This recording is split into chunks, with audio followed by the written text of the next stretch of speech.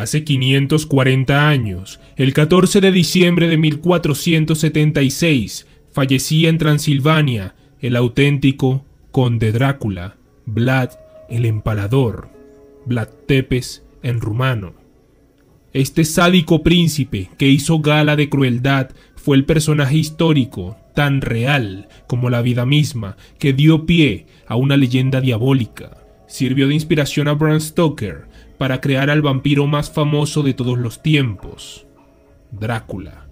Como parte inmortal del imaginario colectivo, el imborrable y terrorífico personaje de ficción ha permanecido vivo generación tras generación gracias a la literatura y el cine, pero ¿cuál es su verdadera historia? El día de hoy la descubrirás. Recuerda que para otro video la meta es solo de mil likes y sé que podemos llegar. Me ayudarías mucho compartiendo el video también y activando las notificaciones. Comencemos.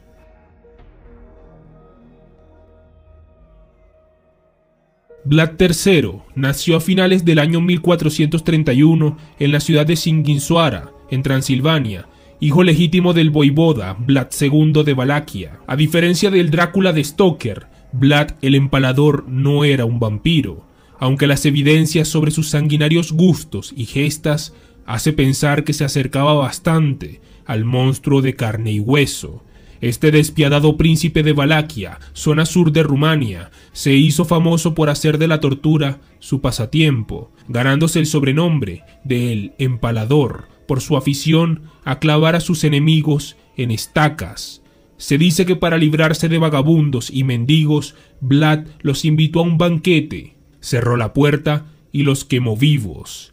Un delegado papal describió a Vlad como una persona con un cuerpo fornido, musculoso, rostro rojizo y delgado, nariz aguileña, pómulos salientes, largas pestañas, ojos grises, cejas tupidas, bigote y una cerviz de toro que le ceñía la cabeza, de la que colgaba una ensortijada melena negra. La fortuna del sobrenombre de Drácula se debe en realidad a una confusión. Su padre, el príncipe Vlad II de Valaquia, había ingresado en 1428 en la Orden del Dragón, Drac en húngaro, de la mano del emperador Segismundo de Luxemburgo, por ello fue conocido en adelante como Vlad Drácul, mientras que a su hijo se le llamó Vlad Draculea, esto es, hijo de Dracul. Sin embargo, en la mitología rumana la figura del dragón no existía y el término Dracul designaba al diablo, con lo que Vlad III pasó a ser en rumano el hijo del diablo. Los miembros de esta orden llevaban una capa negra sobre una prenda roja en días señalados, motivo por el que Stoker, conocedor del contexto histórico y bien documentalista, eligió el atuendo para su vampiro de esta manera. Ello coincide con la leyenda sobre la crueldad y el ánimo sanguinario de Vlad, recogida ya por crónicas de su época, en ella se le presentaba como un príncipe aficionado a la tortura y entusiasta de la muerte lenta, que solía cenar bebiendo la sangre de sus víctimas o mojando pan en ella. Se calcula que en sus tres periodos de gobierno, que suman apenas siete años, ejecutó a unas cien mil personas, en la mayoría de las ocasiones mediante la técnica del empalamiento. Por esta razón se le conoce desde el siglo XVI como Vlad el Empalador. Pero ¿por qué este personaje fue tan cruel? Pero mucho antes de desarrollar esa afición malsana por empalar a sus enemigos, es decir, clavarlos en picas, Vlad Tepes sufrió la crueldad que el imperio otomano tenía reservada a los hijos de los nobles cristianos del territorio fronterizo. Hungría, Rumanía, Croacia y otros territorios de raíz cristiana servían de contención a las ambiciones turcas, dando lugar a un conflicto que siguió muchos años después de la caída de este imperio. A modo de garantía, los líderes otomanos ordenaban que los caudillos y nobles cristianos entregaran a algunos de sus hijos para ser trasladados a Estambul como rehenes. Este tipo de secuestro servía a dos propósitos, asegurarse la lealtad de los caudillos vecinos y proporcionar a los niños una educación favorable a la causa otomana. Según las crónicas, la educación de Vlad Tepes, un modo de colonización cultural, corrió a cargo del propio sultán Murad II, De hecho, el noble rumano recibió el apoyo de los turcos cuando a su regreso a casa descubrió que su padre, Vlad Dracul, había muerto apaleado y a su hermano Mircea le habían quemado los ojos con un hierro candente antes de enterrarlo vivo. Ambos hechos fueron ordenados por un antiguo aliado de su padre, el conde Juan Hunyadi. Y por los boyardos, la aristocracia total. Vlad Tepes coronado rey de Valaquia por intercesión del sultán otomano, dedicó los primeros años de su reinado a vengar a su padre con los métodos más salvajes, especialmente contra los boyardos. Sus ojos eran penetrantes y su rostro estaba monopolizado por un prominente mostacho. En un episodio histórico que recuerda la boda roja de la serie Juego de Tronos, Vlad Tepes invitó a los boyardos a una cena de Pascua en 1459 una vez terminada la comida, se convirtió en una masacre. El rey de Valaquia mandó a empalar a todos los viejos, mientras que a los jóvenes los perdonó, y los envió a construir diversas fortificaciones en cuyas obras murieron la mayoría.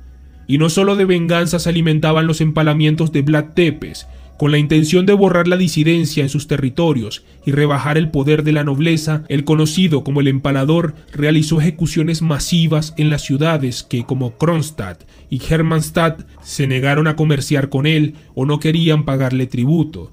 Se calcula que entre 1456 y 1462 mandó a ejecutar a más de 60.000 personas por empalamiento y otros métodos de tortura. Dotaba algunos de estos empalamientos multitudinarios de formas geométricas y sentía fascinación por crear bosques de picas humanas. Vlad llegaba a extremos de macabro refinamiento, prolongando la agonía de los condenados y utilizando los cuerpos de los empalados como terrorífica advertencia.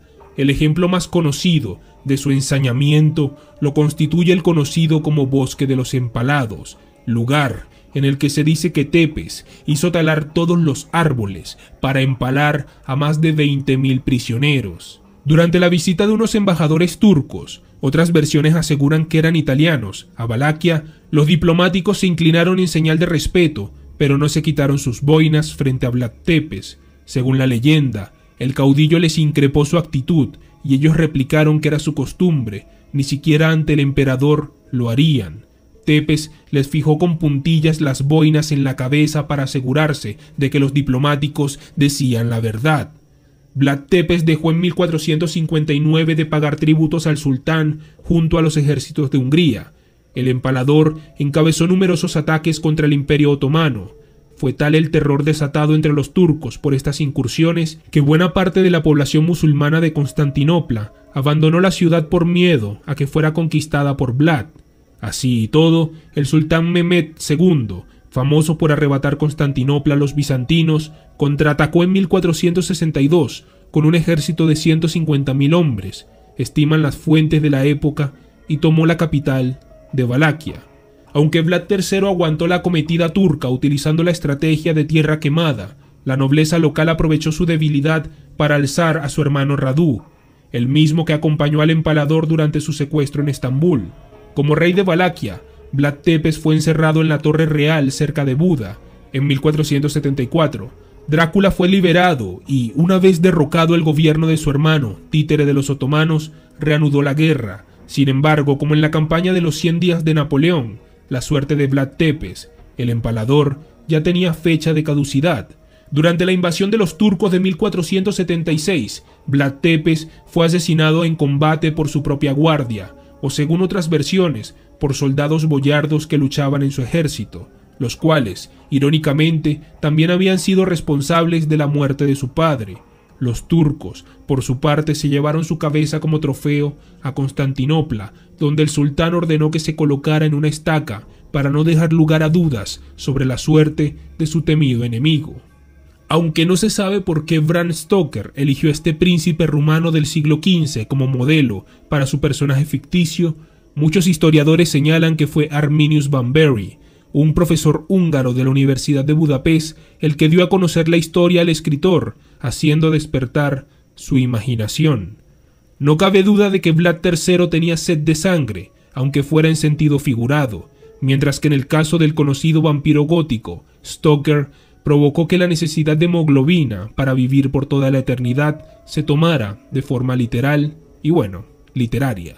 Las historias de vampiros formaban parte del folclore rumano. Puede que el autor tuviera acceso a un artículo de Emily Gerard sobre las supersticiones de Transilvania, publicado en 1885, y sobre todo que, como casi todos los buenos escritores, Stoker hiciera alarde de su habilidad para mezclar mitos y realidad documentada, dando nacimiento en 1887 al Drácula que ha llegado hasta la actualidad. En 1976, Rumania declaró a Vlad Tepes héroe de la nación, un detalle quizás menos memorable que la imborrable y terrorífica marca dejada por el Nosferatu de la película de Murnau de 1922, el vampiro encarnado por Bela Lugosi en 1931 o el sanguinario Gary Oldman en el film de Francis Ford Coppola. De no ser por Stoker y sobre todo por el séptimo arte, muy probablemente no conoceríamos la historia de Drácula, pero al menos, tras escuchar esta información, habrás puesto remedio al desconocimiento generalizado sobre el hombre de carne y hueso que le antecedió. A fin de cuentas, sin las historias sobre sus atrocidades, el vampiro inmortal ni siquiera hubiera existido.